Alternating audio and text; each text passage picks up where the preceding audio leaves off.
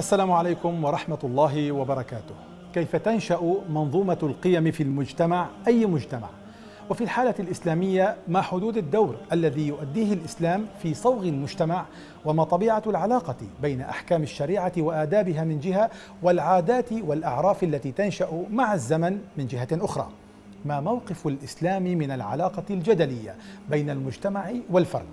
وإلى أي حد يمكن للدين إعادة صوغ مجتمعات مزقتها النزاعات السياسية والطائفية؟ هذه بعض من أسئلة حلقة اليوم من برنامج مقاصد. فاهلا وسهلا بكم مشاهدينا الفاضلين إلى هذا اللقاء الجديد. من خلالكم أرحب بضيف الحلقة الدكتور نبيل الفولي أستاذ الفلسفة الإسلامية. أهلا وسهلا ومرحبا بكم دكتور. مرحبا بكم. أهلا وسهلا. كل الحديث سينبني على العلاقة بين الإسلام والمجتمع لكن ما هو المجتمع؟ ما المجتمع؟ هل هو مجموعة من الناس يعيشون في بقعة جغرافية محددة تحكمهم سلطة واحدة أم أن ثمة سمات ومواصفات أخرى حتى يكون المجتمع مجتمعا بسم الله الرحمن الرحيم الحمد لله رب العالمين والصلاة والسلام على إمام النبيين وخاتم المرسلين سيدنا محمد صلى الله عليه وعلى آله وصحبه وسلم وبعد ف الإنسان إما أن يعيش فردا وهذا مخالف لطبيعته وإما أن يعيش, يعيش وسط جماعة. وهذه هي الصورة الطبيعية لمعيشة الإنسان أن يعيش في وسط من الناس. يتبادل معهم المنافع يخدمهم يخدمونه والناس بعضهم لبعض خدموا كما قيل. آه، لكن هذه الجماعة ليست أي جماعة يمكن أن نسميها آه، أو نصفها بأنها مجتمع. إلا إذا التصق بهذه الجماعة مجموعة من الظواهر. التي تحدد آه، مسار هذا المجتمع وتحدد آه، مصادر مصادر القانون مثلا تحدد توجهاته وعاداته. بمعنى أن الناس إذا كانوا أفرادا متباعدين لا يظهر بينهم مثلا حاجة إلى التحاكم مثلا. لا تظهر عندهم عادات ولا احتفالات ولا كذا. أما حينما تنشأ ينشأ أو تكون هناك جماعة تنشأ بعض الظواهر نظرا لتفاعل الناس بعضهم مع بعض. مثلا الزواج مثلا نعم. كل مجتمع له له آه، نظامه في الزواج وطريقته في الاحتفال بالزواج مثلا. عند الاختلاف إلى من نتحاكم؟ كيف يمكن أن نقضي على على الخلافات بين الناس؟ كيف ينقل الجيل آه، الحالي مثلا الجيل الذي بعده ثقافته وفكره؟ كيف آه، يعني النظام التعليمي؟ هذه اسمها الظواهر الاجتماعية التي تصاحب حياة الناس. فإذا نشأ المجتمع وكانت فيه هذه الأشياء ولو كانت بصورة بسيطة يعني مثلا لو كان هناك مجتمع يعيش حتى في بادية وله طريقة للبيع والشراء أو طريقة للتجارة طريقة لكسب الرزق طريقة للمصاهرة طريقة للتعليم وإن كانت بسيطة وإن كانت حتى شفوية. هذه المجموعة من الظواهر المرتبطة بحياة المجتمع تحوله أو بحياة مجموعة من الناس تحولهم إلى مجتمع يطلق عليه هذه الكلمة. هذا في التصور العام وربما البسيط للمجتمع. لكن هل جاء الإسلام بصورة مطورة أو بصورة تحمل خصائص محددة للمجتمع؟ يعني هل ثمة تصور واضح المعالم للمجتمع في الإسلام؟ في هذه المسألة الإسلام صدره يبدو أرحب من كل هذه الأفكار التي تقدم عن المجتمع. ذلك لأنه ينظر إلى أن الأصل الذي يرجع إليه ترجع إليه كل هذه البشرية هو أصل واحد. يا أيها الناس إنا خلقناكم من ذكر وأنثى وجعلناكم شعوبا وقبائل لتعارفوا. يا أيها الناس اتقوا ربكم الذي خلقكم من نفس واحدة وخلق منها زوجها وبث منهما رجالا كثيرا. فالأصل إرجاعنا إلى هذا الأصل يعني أن المجتمع البشري في حقيقته هو جماعة واحدة ولكن ذات فروع وتنوعات. لا يعني هذا أن الإسلام يعتقد أن كل هذه المجتمعات مجتمعات صحيحة أو تعيش حياة سالمة. ولكن أيضا لا ينكر الإسلام وجود تعدد في المجتمعات تنوع في المجتمعات. يعني بعض الناس مثلا ينظر إلى إلى إلى إلى إلى الإسلام يعني يسمعون قول الله عز وجل إن الدين عند الله الإسلام فيظنون أن الدين فقط هو الإسلام. لا الإسلام لم ينكر وجود أديان أخرى لكن الدين المعتبر الصحيح المقبول هو هذا الدين. لو قسنا هذه على مسألة المجتمع الإسلام لا ينكر وجود مجتمعات أخرى. تحمل آه، آه، تعتقد أديانا أخرى أو يعني يعترف بوجودها لكن يعترف بوجودها. ما طبيعة هذا الاعتراف؟ يعني آه، الإسلام يقبل مثلا التعامل التجارة تبادل التعامل مع هذه المجتمعات غير المسلمة. كأمر واقع يعني.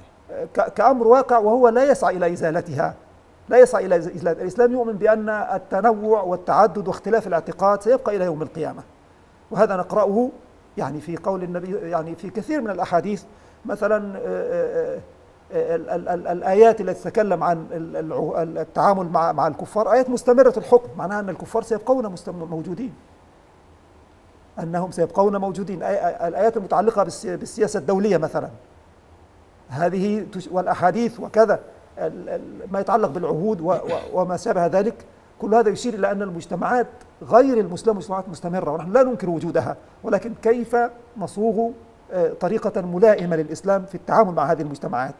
بحيث نحاول أن نوصل إليها رسالة الإسلام وأن ندعم آه، آه، روح التعاون الإنساني في القضايا المشتركة مع المجتمعات الأخرى. نعم عملية تشكل المفاهيم المجتمعية في أي مجتمع خاصة نحن نتحدث عن الحالة الإسلامية ما الدور الذي يقوم به الإسلام بمنظومته العقدية والفقهية والآداب التي يحتويها والأخلاق؟ ما الدور الذي يقوم به في تشكيل هذه التصورات والمفاهيم المجتمعية الإسلام؟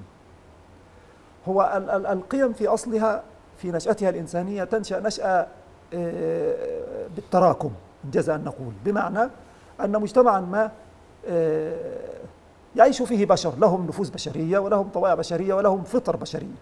فيبدو الميل إلى معاني معينة. مثلا لو نظرنا إلى قيمة الحرية مثلا قيمة المساواة آه، مثل هذه القيم يعني يبدو تبدو الفطرة الإنسانية مائلة إليها لكن لا تتحول هذه إلى قيمة إلا بتراكم زمني ووجود عوامل تؤدي إلى احترام هذه القيم ووضعها في مركز مركز آه، المفاهيم المجتمعية.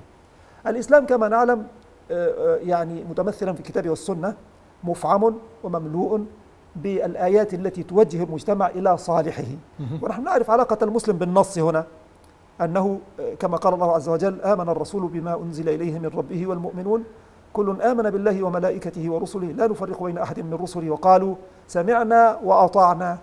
فالعلاقة بين المسلم وبين النص الشرعي هي علاقة سمعنا وأطعنا. لا يمنع هذا أن, أن, أن من حق المسلم أن يفهم وأن يفقه وأن يستوعب الأمر الإلهي فهذا لا يناقض الطاعة.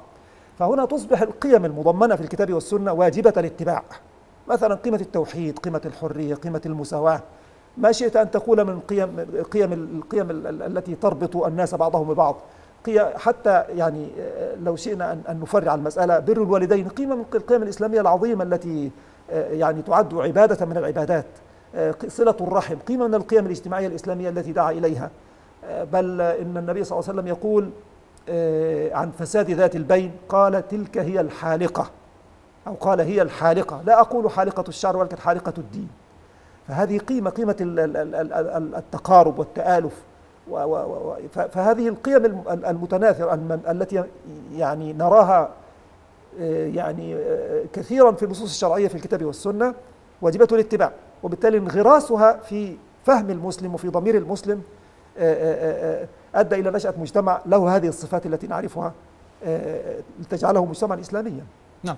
لكن قبل الحديث عن المجتمع الإسلامي الذي سنبحث بشيء من التفصيل والعمق في محاولة لذلك قبل ذلك يا دكتور يعني كلامك يقودنا إلى العلاقة بين الدين بكل مكوناته العقدية والفقهية والأخلاقية إلى آخره من جهة وبين المجتمع من جهة أخرى. من الذي يؤثر بالآخر ويتأثر أكثر؟ هو الإسلام لم يأتي ليكبت المجتمعات ولكن أتى ليضبط تأثيرها. يعني إذا وجدنا مثلا منظومة عادات أو منظومة تقاليد أي شيء أي توجه يعني طريقة طرق للهو واللعب وكذا و وما شئت أن تقول من عادات الإسلام لم يأتي ليكبتها ولكن جاء ليضبطها لينظمها ليمنعها من أن تجور على على آه، قيمه وعلى تشريعاته. فمعنى ذلك أن الحاكم هو الدين بلا شك الحاكم هو الدين. لكن الإسلام كما كما يعلم يعني كل فاقه وفاهم للإسلام آه، حينما يجد نزعة متعلقة بطبيعة الإنسان كفرد أو طبيعة التجمع البشري لا يلغيها لا يكبتها ولكن يوجهها توجيها بحيث تسير سيرا طبيعيا. مثلا حب الناس للألفة والتجمع. مثلا هذا ميل بشري طبيعي. هل الإسلام يمنع هذه المسألة؟ حب الناس للتعاون في بعض الأحيان على الشر وعلى الخير. هل الإسلام يمنع هذا هذا التعاون؟ لا يمنعه ولكن يوجهه. فهكذا الإسلام يرى أن أن أن قيمه وتشريعاته هي الحاكمة. ولكن مع ذلك مع أنه تنزيل من الله عز وجل ودينه وشريعته ووحيه لكن الله عز وجل لم يشأ أن يجعل آه، آه، هذا السلطان بحيث يلغي الميول الفردية ولا الميول الاجتماعية عند الإنسان. وإنما كما قلت يوجهها ويضبطها. لكن هذا مع مر الزمان دكتور تنشأ عادات وأعراف في المجتمعات. يعني هنا يقع قد يقع التباين آه، بين الدين بين الإسلام وبين هذه العادات والأعراف. كيف يمكن تمييز أو تفكيك هذه العلاقة عندما يتعارضان؟ هو إشكالية الواقع أنه يعني آه، آه، إذا كانت هذه الصورة النظرية التي حكيتها فالواقع لا يقول هذا بالضبط لأن كثيرا ما تجور العادات يعني على على على التشريع. كثيرا ما يحدث هذا. ما تجور العادات على؟ التشريع على التشريعات نعم. يعني.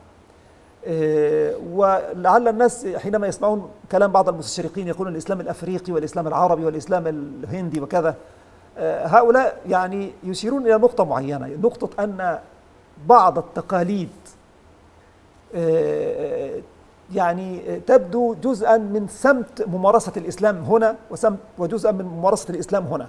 يعني مثلا اذا كان الناس قد اشتهروا في في مثلا في بلد ما بشيء معين فيظهر هذا في في تناولهم للإسلام.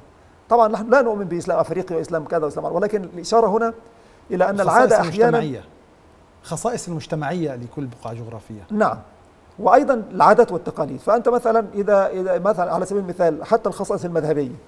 يعني إذا صلي يعني بلاد بلاد الأحناف وبلاد الشافعيه وبلاد الحنابلة وكذا تجد أيضا أن وإن كان هذا طبعا ينتمي إلى إلى فقه المذاهب وليس إلى المجتمع نفسه لكن تحول فقه المذاهب إلى إلى إلى عادة اجتماعية.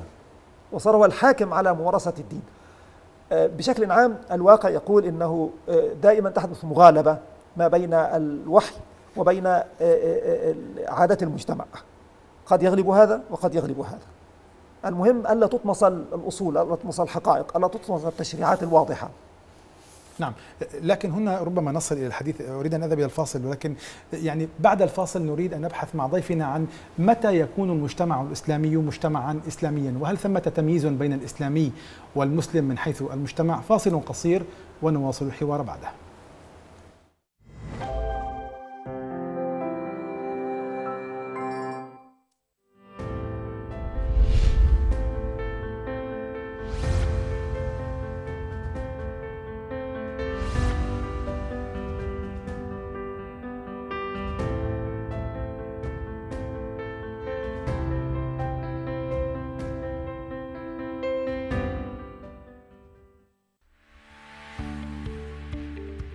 مشاهدي قناة الرافدين الكرام يمكنكم متابعة بثنا عبر القمر الصناعي سهيل سات على التردد 11142 عمودي وعبر القمر الصناعي نايل سات على تردد 1238 أفقي.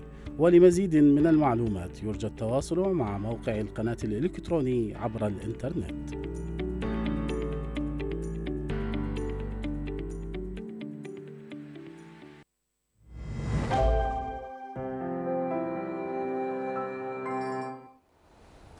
أسعدكم الله نواصل الحديث في هذا الجزء من الحلقة عن الشروط التي تجعل من أي مجتمع مجتمعا إسلاميا. والحديث دائما مع الدكتور نبيل الفوري أستاذ الفلسفة الإسلامية. أجدد الترحيب بكم دكتور. متى يحمل أي مجتمع صفة الإسلامي أي متى يكون هذا المجتمع مجتمعا إسلاميا؟ المجتمع الإسلامي هو الذي آه، يتخذ من هذا الدين الحنيف آه، دينا له أو طائفة آه، على الأقل نقول هي الطائفة التي بيدها أمر المجتمع وقواه الأساسية بمعنى أن الإسلام عبارة عن دين. فهم يتخذون هذا الدين ملة لهم و آه، آه، يعني تجد أثر هذا الاتخاذ في اعتقادهم وفي ممارستهم للعبادة وفي أخلاقهم أيضا. فالمجتمع هنا آه، آه، هو مجتمع تميز بالاعتقاد اولا بتفاصيله المعروفة أنه يؤمن بالله عز وجل وحدانيته ورسوله وكذا إلى آخر ما يؤمن به المسلم. إضافة إلى آه، إبدائه وإظهاره للشعائر الإسلامية التي يمتاز بها المسلمون الشعائر يعني إذا جاء رمضان صاموا وإذا جاءت الصلاة صلوا. وتبدو أيضا أخلاق الإسلام الأساسية في هذا على هذا المجتمع. فبهذا يعني هو مرآة تطبيقية لما في الكتب عن الإسلام. آه، قد تكون هناك نسب في هذه الممارسة كثيرة أو قليلة لكن بحيث لا يناقض أصلا من أصول الدين لكن هذه الممارسات الإسلامية والشعائرية الإسلامية لو تمت بشكل فردي بعيدا عن سيادة الدولة بمعنى أن الدولة لا تقيم شريعة الإسلام فيها لكن الأفراد طوعيا هم يقومون بهذه الشعائر هل يتحقق صفة المجتمع الإسلامي هنا؟ هو طبعا لابد أن نميز بين الدولة والمجتمع. نعم. يعني الإسلام انسحب من من الدولة منذ زمن بعيد بشكل جزئي إلى أن صار بشكل كلي في هذا الزمن للأسف الشديد. آه، فكما وضع انسحب أم سحب؟ يعني كما تشاء يعني. النبي صلى الله عليه وسلم قال أول ما يحل من عرى الإسلام الحكم أو كما قال أول ما يحل من عرى الإسلام الحكم. فليس معنى ذلك أن الإسلام غاب كله بالعكس الإسلام مستمر من أيام النبي صلى الله عليه وسلم إلى الآن موجود. قال النبي صلى الله عليه وسلم لا تزال طائفة من أمتي على الأقل طائفة من أمتي ظاهرين على الحق لا يضرهم من خالفهم فالإسلام سيظل ممثلا بشكل مجتمعي إلى يوم القيامة. وهذه بشرى النبي صلى الله عليه وسلم. كما أن وجود النص القرآن آه، والسنة آه، وجود كما أن وجودهما محفوظين هو ضمانة إلهية فكذلك وجود مجموعة على الأقل تمثل الإسلام هذه ضمانة إلهية أيضا ومستمرة. الإسلام يظل ممثلا. انسحب من الحكم هذا لا يعني أن المجتمع صار كافرا. أو أن المجتمع صار جاهليا بالمعنى الخروج عن الإسلام. ولكن طبعا غاب جزء عن المنظومة منظومة الدولة نفسها. وبالتالي إذا نظرنا إلى إعادة الإسلام فعودة جزء من المجتمع هذه هذه أسلم عودة جزء آخر هذه عودة المجتمع أسلمه يعني بمعنى أنه لا يشترط لكي يحيى الإسلام يعني أن أن أن أن يعني لا يعني بذلك عدم أهمية الدولة ولكن أقصد أن الإحياء يكون بهذا التدرج إحياء إحياء الإسلام في المجتمع ثم المجتمع هو الذي يلد الدولة. الدولة تولد هل بعد ظهور الإسلام وحكمه هل يعني واردة أو معتبرة سنة التدرج في إعادة ال ال ال الإسلام؟ هي ال ال الذي يقوم بعملية الإصلاح هو الذي عليه أن يجتهد في اختيار الوسائل. والتدرج سنة من سنن الحياة صحيح. ولكن في كل حالة يجب أن يكون القائمون على عملية إصلاح أذكياء في اختيار الوسائل المناسبة. لكن أنت تتحدث عن التدرج وهذا ربما يعني يحمل معنى ضمنيا ضمنيا بأن المجتمعات الإسلامية هي مجتمعات جاهلية وبالتالي تحتاج إلى التدرج. لا ليس هكذا ولكن أنا أقول يعني هناك نسبة لا شك من ال من, ال من الارتباط بالإسلام تؤدي إلى الحكم على هذا المجتمع بأنه مجتمع مسلم، هناك نسبة من الارتباط بالإسلام. على الأقل ارتباط الناس بالإيمان بالله تعالى وكتابه وصحة نبوة محمد صلى الله عليه وسلم، هذه تثبت انتماء هذه المجتمعات إلى الاسلام، لكن هناك نقص وهناك تقصير لا شك. تقصير في الجانب الأخلاقي وتقصير أحيانا في الجانب الشعائري. هذا الذي كنت أريد أن أسألك عنه. دكتور إذا مثلا ما وجدنا أمام أنفسنا أمام مجتمع يطبق آه، آه، أركان الإسلام الخمسة من حج وصلاة وصيام وزكاة ثم نطق الشهادة، لكن مع ذلك في الجانب العملي ثمة انتشار للفواحش والرذائل والغش والربا، حتى أن بعض المجتمعات الإسلامية مثلا فاقت المجتمعات غير المسلمة في هذه الرذائل. هل هذه المجتمعات جديرة بأن تحمل اسم مجتمعات إسلامية نحن نتحدث عن توصيف عن حقائق آه، منطلقين من الشريعة بعيدا عن عما يمكن أن يتحرج فيه المرء، نريد أن نبين الواقع من منظور فكري. هو حينما نرجع إلى إلى يعني آه، فتاوى العلماء في مرتكب الكبيرة وهذه على بصورة فردية نتكلم اولا فنجد أنهم لم يكفروا مرتكب الكبيرة، هذا يعني اتجاه أهل السنة بشكل عام. طبعا لا نتحدث عن قضية التكفير هنا بقدر ما نتحدث عن جملة المجتمع. يعني يوصف هذا هذا الفاعل بأنه مسلم فاسق هكذا يصفونه. نعم. آه يعني خرج من درجة المؤمن إلى درجة أقل من ذلك فيوصف بهذا الوصف. فهو مجتمع مسلم مقصر. نحن لا نقول عليه فاسق لأن فيه صالحين طبعا وإنما نقول هو مجتمع آه مقصر. وهذه هذه وظيفة الدعاة والمثقفين والمفكرين. والعلماء والمصلحين أن يعيدوا هذا المجتمع إلى ربه من جديد لكن دكتور لو غلبت مظاهر الفسق والرذيلة في المجتمع وامتنع عن عن أداء شعيرة مثلا الأمر بالمعروف والنهي عن المنكر من حيث التوصيف هل يحمل هذا المجتمع اسم مجتمعا إسلاميا؟ ممكن نقول يعني يعني هو مجتمع آه، آه، مسلم آه، لأنه مرتبط بالعقيدة الإسلامية لا شك في ذلك ما الفارق بين المجتمع المسلم والمجتمع الإسلامي؟ آه، يعني لا أستطيع أفرق تفريقا كبيرا ولكن هو آه، ربما لو استعملنا كلمة إسلامي آه، نقصد بها الصورة الأقرب إلى الكمال. ربما يكون هكذا. وإذا وصفناه بأنه مسلم يكون مجتمعا منتميا للإسلام ولكن الأقرب إلى الكمال أم الأقرب إلى تطبيق ما يراد من المسلمين؟ هي مسألة اصطلاحية. يعني لو شئت أن تفرق نعم.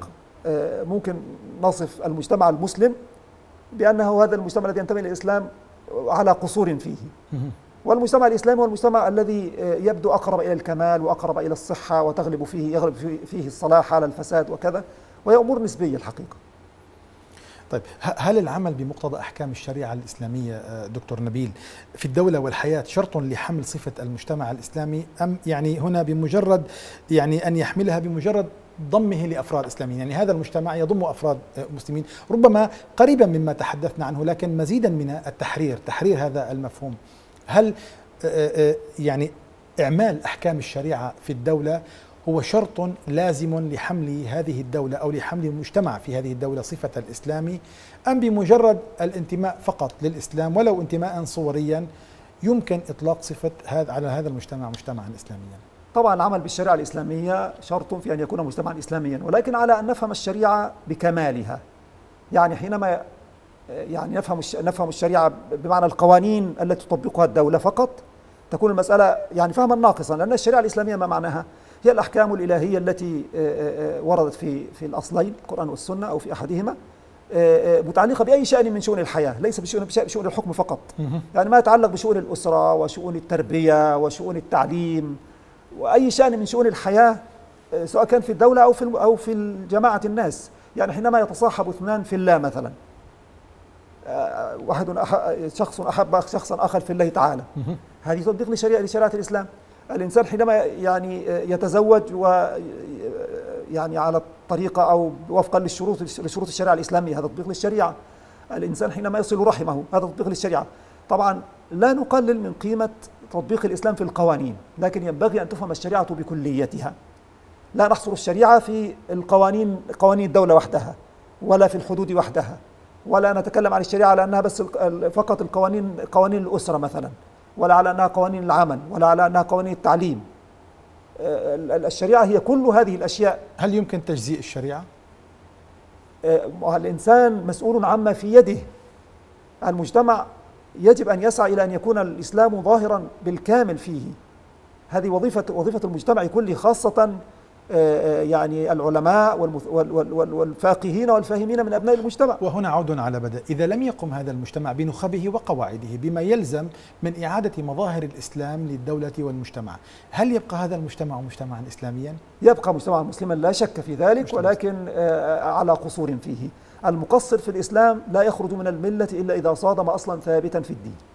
طبعا دائما أركز وأذكر بأننا بعيدون عن قضية التكفير وإنما عن توصيف المجتمع بأنه مجتمع إسلامي من عدمه. هنا سؤال آخر آه، دكتور. ما هو العامل الحاسم في توصيف أي مجتمع بأنه مجتمع إسلامي؟ هل هو عامل عقدي فقهي أخلاقي أم قانوني؟ لا هو اجمع هذه كلها وإن كان في بعضها قصور يعفى عنه وفي بعضها لا يعفى عنه القصور. ما الذي لا يعفى عنه؟ يعني القصور الذي لا يعفى عنه مصادمة أصول العقيدة. هذا لا يعفى عنه. آه، أما مثلا القصور في في في شيء من الفروع التقصير في شيء من الفروع فهذا آه، يعني المسألة تحتاج إلى إصلاح لا شك. نحن لا نقلل من قيمة هذه الأخطاء ولا هذا التقصير ولا وجود آه، يعني مصادمة للشريعة في كثير من شؤون حياتنا. يعني الكذب كثير على ألسنة الناس وإخلاف الوعد كثير على على ألسنة الناس. وهجر القرآن وكذا. هذه وجوه كثيرة جدا من المخالفة لكنها آه، آه، يعني وتحتاج إلى إصلاح. لكن لا نستطيع أن نتهم الناس تهمة عامة لأنهم نعم. خرجوا على الملة بسببها طيب أو خرجوا على متى يتصادم المجتمع مع مع أصول العقيدة؟ يعني أعطينا أمثلة حتى لا يكون حتى حتى يعني يتعارض مع أن يكون مجتمعا إسلاميا. يعني هي المسألة لو لو لو مثلا حينما ظهر على سبيل المثال حينما ظهرت جماعة القديانية على سبيل المثال في نعم. بلاد الهند. نعم. صاروا مجتمعا. هؤلاء صدموا أصلا من أصول الاعتقاد حين اعتقدوا بان بانه بأن النبوة المحمدية ليست خاتمة النبوات. وفسروا آه، وخاتم النبيين آه، على انها على أنه زينة النبيين. فصدموا أصلا. فهؤلاء صاروا من غير جماعة المسلمين وصاروا مجتمعا مجتمعا آه، غريبا من الناحية العقدية عن المسلمين. لو حصل هذا في مجتمع لا يكون مسلما جميل. ما الفكرة الأساسية التي يتمحور حولها المجتمع الإسلامي دكتور؟ هو الأصل الأصل أن هو مسألة الخلافة عن الله عز وجل في أرضه. ينبغي أن يعني الناس لم يخلقوا ليعيشوا لبطونهم وفروجهم. خلق الناس ليعيشوا لمبادئ عالية رفيعة. يعني الحياة كلها قصيرة. فلو عاشها الإنسان لبطنه وفرجه والأشياء التي يعني كل إنسان ينال حظه منها في الإسلام وبطريقة سليمة سليمة وصحيحة فلو عاش الإنسان لأجل هذه الأشياء وحدها فما أتفهها من حياة. طيب حتى يكون المشاهد الكريم على بينة من الأمر. يعني كيف مظاهر هذه الخلافة عن الله في الأرض حتى يتمتع هذا المجتمع بصفة المجتمع الإسلامي؟ يعني الأمر نعم. ينبغي أن يكون بينا فيه مفارقة فيه حدية في, في, في المسألة. المسألة ببساطة شديدة لو شئنا أن نقول نقول يعني الإنسان المسلم في موضوع الخلافة يعيش كما يعيش الناس. يعني يطلب الخير ويعمر الأرض ولكن باسم الله تعالى ودون إفساد. بمعنى أن المسلم لن يتحول إلى ملك كما أنه لن يصبح شيطانا. بل هو إنسان يطلب خير يطلب النعمة والخير والفضل يطلب طعامه وشرابه ويطلب حاجة نفسه و ولكن بسم الله. أول آية نزلت في القرآن اقرأ باسم ربك. فممارسة الحياة باسم ربك. هذه الخلاف عن الله عز وجل. يملأ الأرض خيرا يشق نهرا يعني يزرع ارضا. يغرس شجرا يبني مصنعا يفعل كذا. يقيم مسجدا يعبد الناس لله عز وجل. يعني أقصد أنه يمارس حياته كإنسان بشكل طبيعي جدا. ولكن باسم الله عز وجل. وباسم الله يعني في ظل المنظومة الدينية التي يتضمنها القرآن والسنة. يحدث مثلا في مجتمعات أوروبية غير مسلمة كما في فرنسا وبريطانيا مثلا أحياء كاملة ذات غالبية مسلمة. هل سكان هذه الأحياء يمكن أن يطلق عليهم بأنها مجتمعات مسلمة أو مجتمعات إسلامية؟ آه، وطبعا يعني هي لم تت... لم يسبق في التاريخ آه، أن وجد مثل هذا المجتمع في بطن مجتمع غير مسلم إلا في الحبشة. أن يوجد مجتمع مسلم أو مجموعة مجموعة ليس مجتمع. مجموعة من المسلمين في قلب مجتمع غير مسلم إلا في الحبشة. وكان هذا بشكل مؤقت لكنهم لم يكونوا غالبية في منطقتهم الجغرافية. كانوا بضعة عشر من لا وصلوا إلى إلى قرب المئة تقريبا نعم بضعة الثانية كانت نعم. 80 نعم. فيما أذكر لكن يعني لكن الآن نتحدث في فرنسا مثلا في فرنسا مثلا دكتور يعني هناك نحو خمسة ملايين مسلم أحياء بكاملها مسلمة هل تحمل هذه الأحياء صفة المجتمعات الإسلامية؟ في رأيي نحن طبعا لا نخرجهم من من الملة والدين ولكن نقيسهم على وجود غير المسلمين في مجتمعنا. ما منعنا؟ يعني مثلا يوجد مثلا في بلد مثل مصر مثل مصر مثلا آه، حوالي 90 مليون مسلم والباقي من الأقباط وأشياء أقليات أخرى قليلة جدا. آه، آه، فما منع ذلك من أن نقول أن هذا مجتمع مسلم. فبالتالي لو قسنا على هذا ربما يكون رايا شخصيا يعني لو قسنا هذا على المجتمعات الغربية لا ينبغي أن ننظر للمسلمين أنهم منفصلون عن هذه المجتمعات بل هو جزء من هم جزء من هذا المجتمع ولا عليهم رسالة يجب أن يؤدوها وعليهم مسؤولية أكبر من مسؤولية المسلمين الموجودين في بلادهم. لكن لا لا لا يتمتعون بصفة المجتمع الإسلامي حتى لو كانوا في أحيائهم هم ليسوا مجتمع الحقيقة، هم جزء من مجتمع كبير هو مجتمع مدينتهم، مجتمع بلدهم وهم خاضعون للقوانين هناك.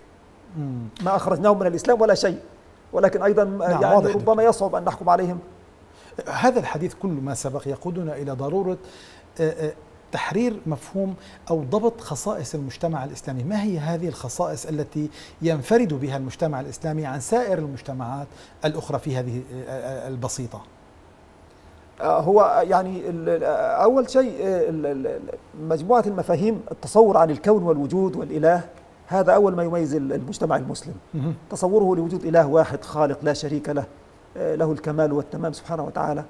آه، آه، وأنه مهيمن على هذا الوجود وأعطى الإنسان حرية وأمره وكلفه بأن يمارس هذه الحرية في الخير. وهو حر بعد ذلك يستعملها في الخير أو الشر ولكنه مسؤول أمام الله تبارك وتعالى. وهذه المسؤولية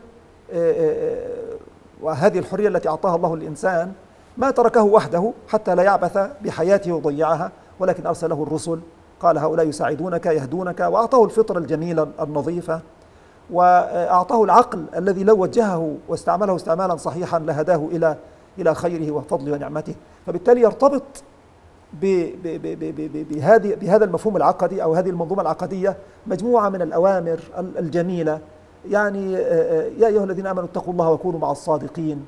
يا أيها الذين آمنوا لا يسخر قوم من قوم عسى أن يكونوا خيرا منهم وقوله تعالى ولا تنابزوا بالألقاب بئس يعني مجموعة آه، أخلاق وأعمال وشعائر آه، هي التي تميز هذا المجتمع مع ليس باعتبار أنهم أنهم آلات تذهب للصلاة وترجع ولكن باعتبار أن هناك جامعا يجمعهم أنهم لله عز وجل طيب. لإله واحد يسجدون وربا واحدا يعبدون فهناك أخوة تجمع تجمع المسلم من مشرق الأرض إلى مغربها آه، تجمع هؤلاء في في في في مساجدهم وفي أعمالهم وفي مؤسساتهم آه، آه، فالمجتمع المسلم المفروض أو المفترض هو أن الصورة المثلى له هي صورة المهاجرين والأنصار صورة المجتمع المحمدي الأول. هذه الصورة المثلى التي يجب أن تكون أمامنا كمجتمع مسلم لكي نتمثلها في حياتنا قدر الاستطاعة. أن نبرز ما نستطيع من قيم الإسلام من خلال من خلال معاملاتنا من خلال تواصلنا من خلال الاحتكاك بعضنا ببعض في البيع والشراء وفي كونك رئيسي أو كونك كون كوني مرؤوسا لك كونك هذه كلها يجب أن تبرز فيها أخلاق المسلم وعاداته وأفعاله. في ضوء ما تفضلت به دكتور عن موضوع التصور العام للمجتمع للحياة والكون هل الدعوة إلى وحدانية الله سبحانه وتعالى والإيمان به على أنه رب معبود واحد قائم بذاته هل هذا يعني هذه الدعوة الإيمان بالله تعالى لوحده هي دعوة لذاتها أم أنه ينبغي أن يتحقق من وراء هذه الدعوة مقاصد عملية على الأرض؟ طبعا لا شك أن الاعتقاد الإسلامي ليس مجرد تصورات ذهنية وإنما يجب أن ينعكس ويرى في أخلاق المسلم. ولهذا هذا ما قصده سلف سلف الأمة من قولهم أن الإيمان قول وعمل أنه لا بد أن ينعكس اعتقادنا في صورة أعمال. كل العقيدة هكذا ليس التوحيد وحده. آه، فالتوحيد بالتحديد هو معناه أنك لست عبدا لأحد إلا لواحد فقط والله عز وجل. وهذا الواحد أعزك بعبوديتك له. ف وكلفك يعني كإنسان بأن تحافظ على إنسانيتك الجميلة. وكلفك باعتبارك مسلما بأن آه، تستقيم على طريق حرا. لست أنت لم, لم تأتي إلى طريق الله عز وجل بالسلاسل وإنما جئت حرا بتمام إرادتك. آه، آه، فهذا المجيء الحر يجعلك تمارس الإسلام ممارسة المحب. يعني مثل هذا الإنسان الذي جاء إلى حياض الإسلام مجيئا حرا ينبغي أن يستمتع ببر الوالدين أن يستمتع بصلة الأرحام يشعر بالمتعة وهو يمارس الإسلام في الصلاة في الزكاة. في مساعدة الضعيف مساعدة الفقير في بر أهله في الإنفاق على ولده. يجب أن يشعر بالسعادة والفرحة لأنه يمارس أعمالا رائعة ترفع قدره وتعلي شأنه. ويكفي أن هذه الأعمال التي الذي كلفه بها هو رب العالمين خالق السماء والأرض وهذا الوجود. إذا أؤمن بالله سبحانه وتعالى من قبل مجموعة من الأفراد وهم المسلمون أؤمن بالله ربا واحدا لكن لم يتحقق من هذا الإيمان أي أي مقصد عمليا على أرض الواقع. فمثلا لم يقم الناس من أجل تحقيق العدل بل هم مثلا وقفوا مع الظالم وقفوا مع المستبد وقفوا مع المؤذي إلى آخره. إلى أي درجة؟ هذه الموالاة للظالم والذي يقتل الناس أحيانا لأجل إسلامهم. مثلا لا نتحدث عن نتحدث عن مكان محدد بقدر ما نتحدث عن فكرة آه، عامة. إلى أي مدى هؤلاء الذين ناصروا الظالم ناصروا المستبد آه، آه، ورفضوا أن يقيموا العدل وأيدوا الظالم؟ إلى أي مدى يتحقق فيهم صفة المجتمع الإسلامي دكتور؟ هو كأنكم افترضتم أن هناك مجتمعا سيقوم كله بمؤازرة بمؤازرة الظالم والوقوف في وجه العدالة. وربما يكون هذا الافتراض ربما يكون نظريا يعني أكثر منه عمليا. لأنه إذا حدث جور وناصر الناس الجور سيكون هناك فريق مظلوم.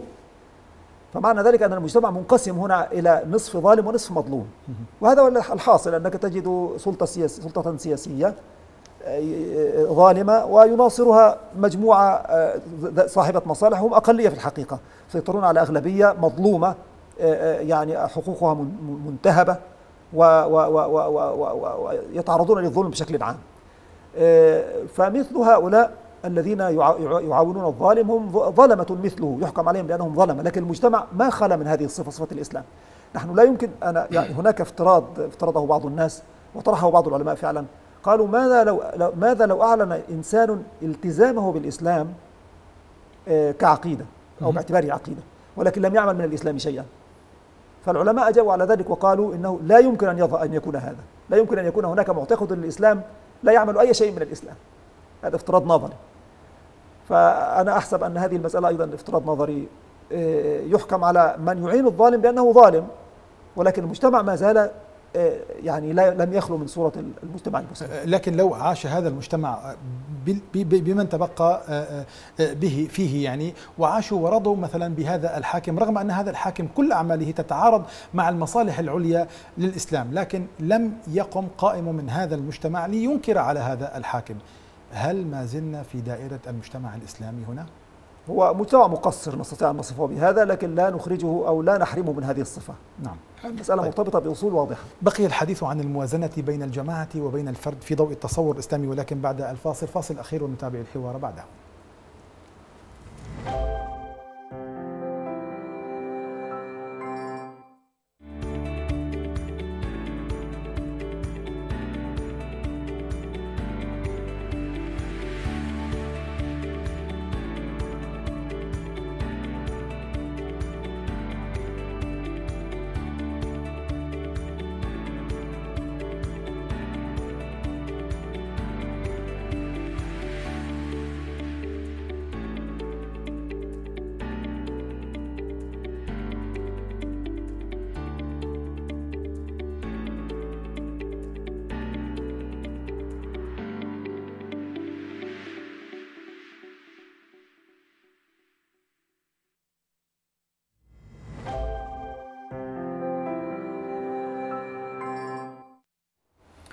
أهلا وسهلا بكم إلى الجزء الأخير من حلقة اليوم. دكتور آه، كيف للإسلام أن يدير مجتمعا مركبا مكونا من عدد من المكونات آه، العرقية والمذهبية والدينية من غير أن آه، بالوقت الذي يحافظ فيه على الخصائص الإسلامية لهذه لهذا المجتمع من غير تذويب اجباري لهذه الأقليات.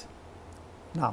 كيف آه، تتم هذه العملية؟ يعني نحن نجد نماذجا من في تاريخ الإسلام حتى في الزمن الأول لهذا التعدد في رحاب المجتمع المسلم فالنبي صلى الله عليه وسلم كان في مجتمعه آه، في المدينة نفسها كان في مجتمعه مشركون وكان في مجتمعه يهود وكان في مجتمعه مسلمون مسلمون من أهل المدينة ومسلمون من خارج المدينة وهم المهاجرون من مكة وغيرها آه، الحقيقة أن الأصل في هذه المسألة هو العدالة العدل العدل آه، حينما ننظر إلى إلى إلى الرؤية الإسلامية الإسلام الحقيقة وهذه مسألة تحتاج إلى إلى إلى دقة في النظر. الإسلام يخطئ الأديان الأخرى في اعتقاداتها ودينها بلا شك. لكن لا يعني ذلك أنه سيجور على على من يمثلون هذه الأديان. بمعنى أن الإسلام لا يقبل اعتقاد آه، اعتقادات الهندوسية مثلا ولا اعتقادات اليهودية ولا اعتقادات النصرانية يراها مناقضة لأصوله. كما يرونهم أننا نناقض أصولهم فرؤيته لأن لهذه المنظومات الدينية على أنها خطأ لا يعني أن أنه يوصي بالجور أو حتى يوافق على الجور على ممثلي هذه الأديان بالعكس.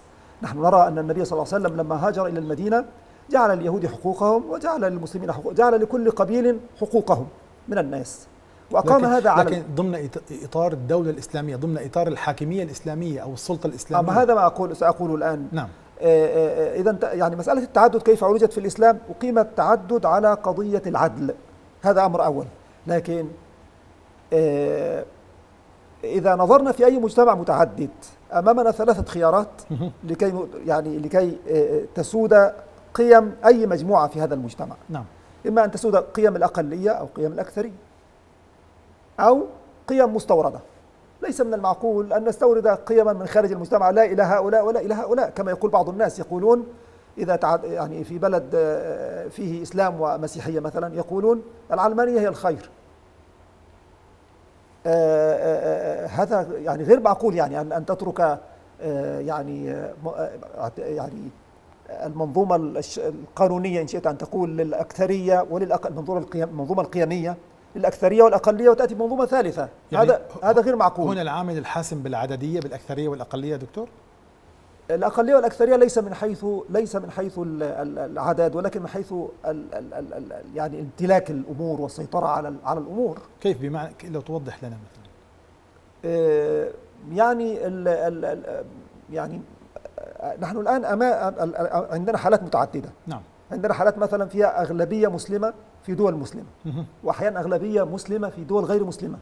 إثيوبيا مثلا الأكثرية مسلمة. لكن الذي يطبق هو منظومة قيمية آه، أخرى ليست قيم منظومة الأغلبية. نعم. نحن ينبغي أن نختار أساسا على أي حال نختار أساسا هذه إذا أردتم الأغلبية أنتم تريدون آه، آه، الرجوع إلى الديمقراطية وقيمها وأن الأغلبية هي التي يختار يختار تختار منظومة قيمها. نحن موافقون كمسلمين.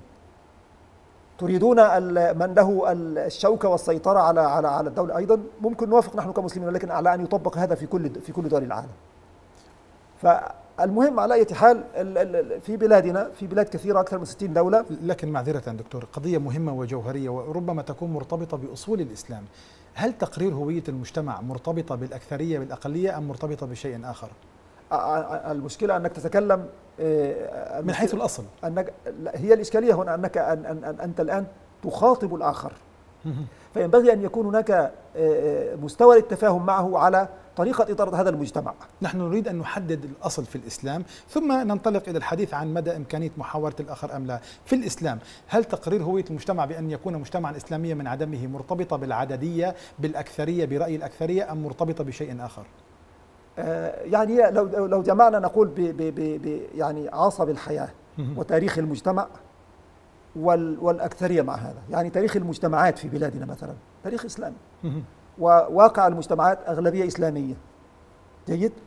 فهذه كل كل هذه الأمور يجب أن تكون حاضرة في في في هذه المسألة. فمجتمعاتنا توارثت هذه الصفة صفة الإسلامية. نعم. فمن حقها أن تبقى إسلامية. لكن النبي صلى الله عليه وسلم عندما هاجر إلى المدينة وفرض دستور المدينة كان المسلمون أقلية 1500 مسلم في أصح الروايات بين 8500 بين مشرك ويهودي ومع ذلك فرض دستور المدينة وفرض إسلامية المجتمع. لم يحتكم إلى هذه ما تحققت بشكل بشكل مباشر ولكن تحققت مع الزمن.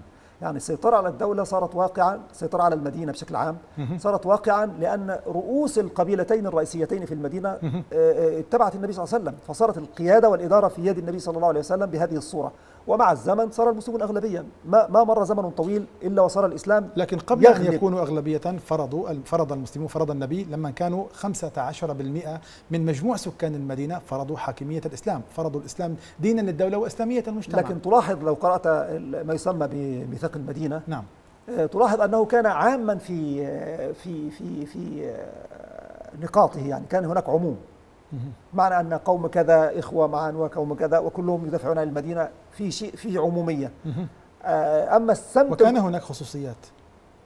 يعني هذا ما في ذهني الآن لكن المجتمع كان التشريع في بداياته أصلا. التشريع ما كان تراكم بهذه الصورة الكبيرة. كان تشريع. آه التشريع في مكة كان موجودا ولكن كان قليلا. أما في المدينة فقد تكامل التشريع. يكفي سورة البقرة. هذه يعني أكبر سورة سورة تشريع في القرآن كله. نزلت في العام الثاني تقريبا للهجرة. فالأمور بدأت تتراكم مع الزمن ويكتسب المجتمع هذا السمت. قبل أن يهاجر النبي صلى الله عليه وسلم كما ورد في كتب السيرة دخل الإسلام كل بيت من بيوت الأنصار. دخل كل بيت. طيب دعني أنتقل معك إلى نقطة جوهرية يعني قضية العلاقة بين الفرد والمجتمع. هذه قضية شغلت الغرب والشرق يعني حرية الفرد متى تنتهي ومتى تبدأ ومصلحة الجماعة إلى آخره. كيف وازن الإسلام هذه العلاقة التي أرقت كبار الفلاسفة في العالم؟ كيف وازن بين في العلاقة بين الفرد والمجتمع الإسلام؟ من لمن أعطى الغلبة والأولوية؟ هو الفرد حر إلى أن تمس مصلحة الجماعة. بمعنى الإسلام يرعى الفرد ويريد أن ألا يحوله إلى يعني إلى قطعة ملح ذائبة في المجتمع. يريد أن يحافظ للفرد على شخصيته وعلى حريته وعلى استقلاله. أن أن يظهر مواهبه.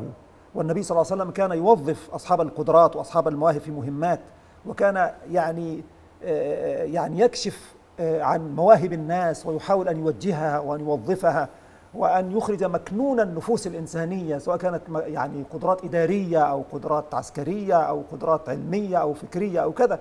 ولذلك وجدنا فيهم القائد العظيم والجندي الشجاع وجدنا العالم الكبير وإلى آخره كما نعلم. فهذه رعاية للفرد وإبراز لقدراته وهذا حقه. ولكن ينبغي أن يعلم الفرد أنه لا يعيش وحده. فمن هنا فمن هنا الإسلام اعتبر أن الأصل في وجود الناس والمجتمع ولكن هذا لا يذيب الفرد ولا يلغي فرديته. حتى يظهر الفرق بين موهوب وغير موهوب بين عبقري ومتوسط الذكاء بين بين عالم له مجال في لذكائه وبين قائد له مجال آخر في يعني موهبته. وهكذا. ولو لاحظنا الأوامر الإلهية في القرآن نجد أنها تأتي في الغالب بصورة جماعية. يعني الله تعالى لا يقول يا أيها المسلم كذا ولكن يقول يا أيها الذين آمنوا. ما معنى هذا الخطاب؟ معناه أن الأصل في الوجود هو هذه وجود الجماعة. حتى حينما نقرأ في سورة الفاتحة نقول ماذا نقول؟ لا نقول اهدني الصراط المستقيم. نقول اهدنا الصراط المستقيم. إشارة إلى أن تمثيل الإسلام مجتمعيا هذا واجب يجب أن يقوم به تقوم يقوم به أو يتعاون عليه الأفراد. ولكن لا ينبغي للجماعة أن تسحق أن تسحق فردية الفرد وأن آه، ولا ينبغي أن تكبت مواهب الموهوبين بالعكس. يجب أن تطلقها لأنها هذا في مصلحتها. تكون الجماعة قوية بقدر ما يكون الأفراد آه، آه، يعني كاشفين عن قدراتهم وعن نبوغهم وعن مواهبهم. فلا ينبغي أن تتحول أن المجتمع إلى كابت. أو كابح أو مانع لقدرات الأفراد وإنما من حقه أن يوجه من حقه أن ينصح من حقه أن يوقف المفسد عن إفساده ولكن ليس من حقه أن يصادر على الموهوبين وعلى أصحاب القدرات الخاصة. في حالة المجتمعات العربية والإسلامية اليوم التي مزقتها الحروب على أساس سياسي وعلى أساس طائفي إلى أي مدى دكتور نبيل يمكن للدين وأعني به هنا الإسلام أن يؤدي دورا في صوغ المجتمع من جديد ويوحد نسيجه المجتمعي مرة أخرى. آه، يمكن للجهود الفردية أن يكون لها دور. يعني كل واحد فينا عنده قدرة على أن يفعل شيئا يفعله. ولكن هناك شيء أهم من ذلك هو دور المؤسسات. المؤسسات التي تربي وتثقف المدرسة المسجد. آه، كل مؤسسة تجمع يا حتى الشركات رؤساء الشركات مسؤولون عن الموظفين الذين معهم أن أن يكون لهم وظيفة تجاههم. آه، فالمسألة أنا أظن أنها أن منطلقها من المؤسسات لأن تأثير تأثير المؤسسات أوسع. ينطلق يعني آه، آه، يذهب هذا التأثير إلى الأسر فتمارس الأسر دورها بشكل منضبط فينضبط الإنسان فكرا وسلوكا وأدبا بشكل عام. نعم أشكرك على هذه الإفاضة دكتور شكرا جزيلا. أعزائي المشاهدين وصلنا إلى ختام هذه الحلقة التي أشكر فيها الدكتور نبيل الفولي أستاذ الفلسفة الإسلامية. كما أشكركم أنتم مشاهدينا الكرام في حراسة الله.